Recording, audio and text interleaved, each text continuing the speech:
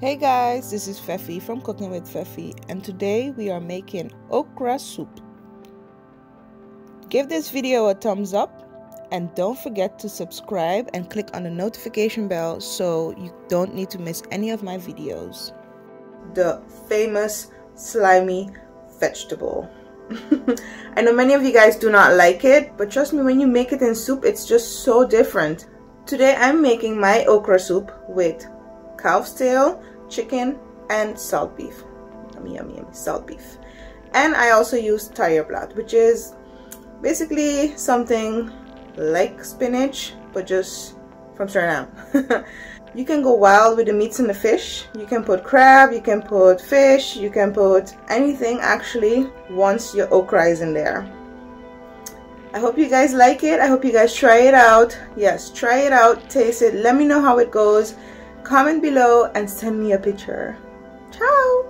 So you're gonna need three liters of water and then six pieces of chicken.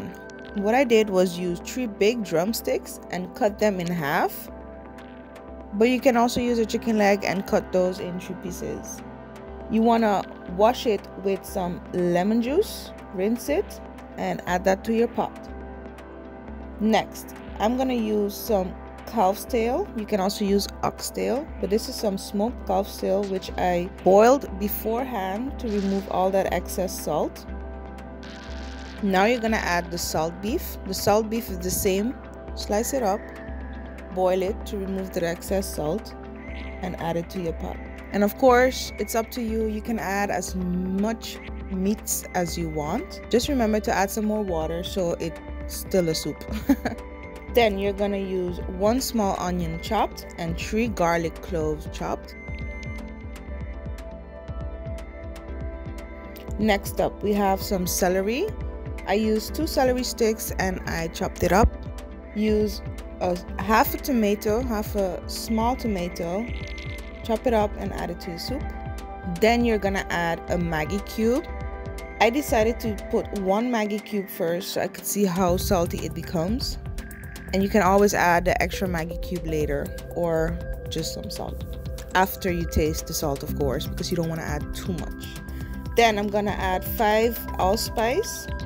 That's piment korrel. And two bay leaves laurier blad don't forget to add some black pepper and bring this to a boil so when it's boiling and the meats are cooked, you want to taste the salt. If it needs more salt, you can either choose the Maggi cube or salt, like I said. And then what you're going to do next is add your okra. So as you can see, I sliced it up, not too thin, not too thick, just perfect. I used about 12 to 15 okras here, small okras. And you're going to add that to the soup and you're gonna bring that to a boil? So leave it cook about five minutes on high fire. Look at that goodness. When the okra is soft you want to add your tayerblad what I did was use a couple of bundles of tayerblad I folded it up and I sliced it as you can see here. You're gonna add that to the soup and then you're gonna leave that cook for another 5 to 10 minutes and when that's done you're gonna notice that the greens has melted a bit. The soup is always amazing with some rice. I know in some cultures you don't eat rice with your soup but we do. It makes the soup more filling especially okra soup. The broth is amazing. You add your rice and you pour your soup into there. And of course what's next? You enjoy it. Look at that and remember, you can add fish to your soup. It gives it amazing flavor.